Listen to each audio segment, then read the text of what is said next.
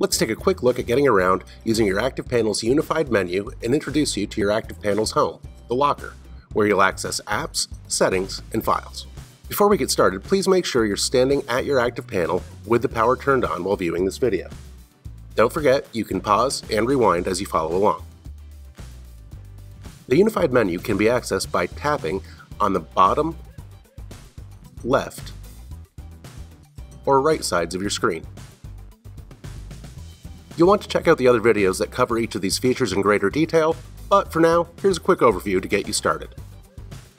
The back button will bring you back to the previous screen that you were on. The locker is where you access apps, settings, and files. Owner allows you to create or switch user profiles if you're working on a shared panel. Home returns you to the home screen, which is basically a clock. Whiteboard opens the Whiteboard app. Capture is how you take screenshots, which then open up in the Whiteboard app. Annotate allows you to mark up anything that's on your screen. Source is how you select external devices that are connected to your panel. The Screen Share app lets you wirelessly mirror your device to your active panel. Recent Apps gives you quick access to recently used apps. And Help is definitely worth a look with access to videos, tutorials, and even an onboarding tour. In just a minute, I'll show you how you can increase the size of the app icons on the unified menu.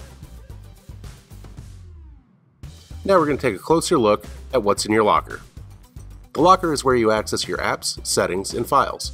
Basically, everything is found in the locker.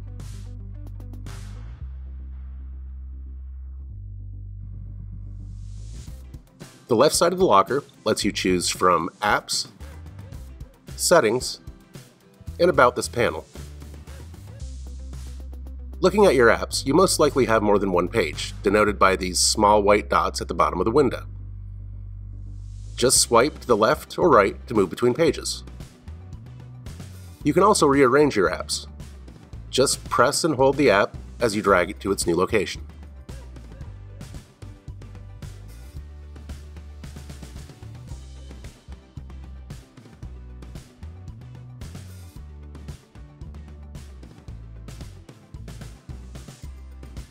Settings allows you to quickly change things like brightness or volume.